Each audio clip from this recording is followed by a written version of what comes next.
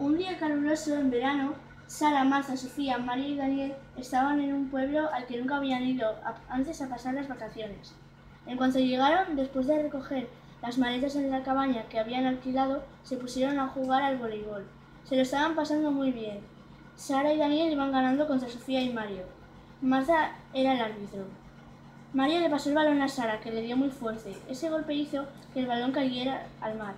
Marta se enfadó con Sara porque era ella la que en ese turno tenía que coger el balón y ahora alguien tendría que ir a por él al agua y comenzaba a oscurecer. Empezaron a discutir y no se dieron cuenta de que el balón cada vez se alejaba más y más. Sofía gritó ¡El balón! y todos corrieron dentro del agua por él, pero una ola se lo llevó y la pelota se dirigió a un grupo de rocas. Mario nadó muy rápido hasta allí, pero el balón se adentró en una especie de cueva. Cuando consiguió alcanzarlo, se quedó boquiabierto mientras que el resto fue llegando y tuvieron la misma reacción que él. Lo que vieron era alucinante.